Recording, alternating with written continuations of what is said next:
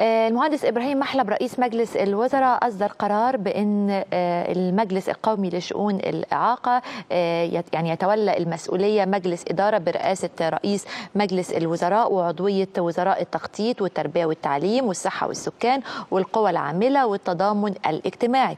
ويشرف على المجلس أمين عام وفي كمان أمين عام المجلس وإنه وفقا للقرار يفضل إنه يكون من ذوي الإعاقة وعدد من ممثلي المجتمع المدني وعدد آخر من الشخصيات العامة.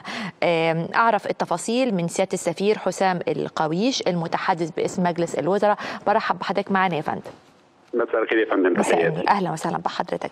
سيادة السفير يا ريت تكلمني أكثر عن القرار ده التشكيل الجديد لمجلس إدارة المجلس القومي لشؤون الإعاقة. الفرق بينه وبين يعني التشكيلة السابقة والأهم سياسة هذا المجلس وايه خطته هو يعني المجلس القومي للإعاقة بيلقى اهتمام كبير من السيد رئيس الوزراء وده يعني ظاهر بوضوح في السادة الوزراء اللي بيشملهم المجلس القومي الجديد التعليم الصحة القوى العاملة التضامن الاجتماعي دي كلها محاور سيركز عليها المجلس القومي في تقديم خدماته لأعضائه من ذوي الإعاقة الخاصة. وكان التكليف محدد للمجلس وصادر في القرار وهو اعتماد استراتيجية عمل المجلس مع الوزارات المختلفة. المجلس بيكون له صلاحيات يتواصل مع الوزارات.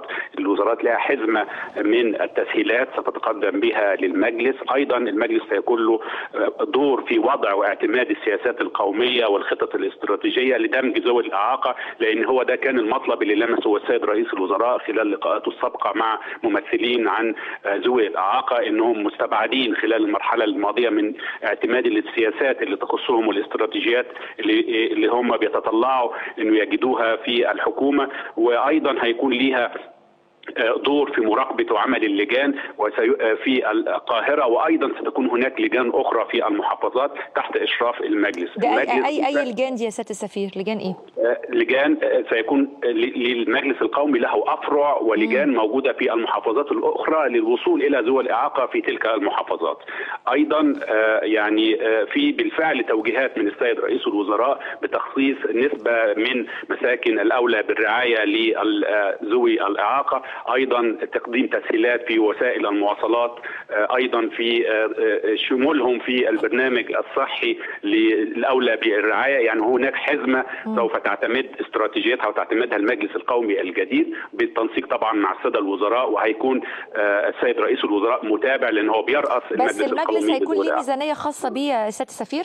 بكل تأكيد ليه ميزانية خاصة وأيضا داخل الوزارات المشكلة منها التشكيل الجديد بيكون هناك في بند برضه يخدم المجلس آه. لخدمة المجلس دعم ويخصص آه يعني آه ميزانيات محددة برامج محددة بيعتمدها المجلس وبيكون وفقا لاحتياجاتهم ووفقا لتلبية مطالبهم. شكرا سياده السفير حسام القويش المتحدث باسم مجلس الوزراء؟ شكرا جزيلا